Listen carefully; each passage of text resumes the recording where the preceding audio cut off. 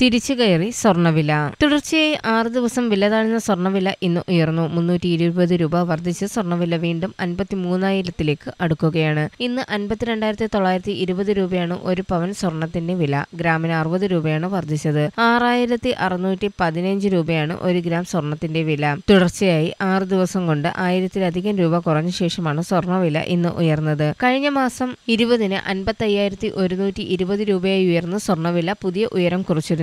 തുടർന്ന് നാല് ദിവസത്തിനിടെ പവന് രണ്ടായിരം രൂപ കുറഞ്ഞ ശേഷം ഏറിയും കുറഞ്ഞും നിൽക്കുകയാണ് സ്വർണവില ഓഹരി വിപണിയിലെയും അന്താരാഷ്ട്ര വിപണിയിലെയും ചലനങ്ങളാണ് സ്വർണവിലയിൽ പ്രതിഫലിക്കുന്നത്. News desk press Malayalam.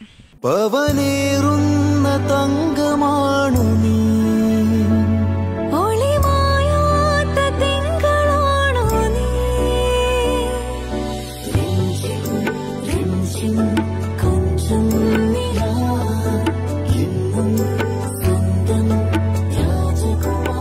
Be a Rajakumari.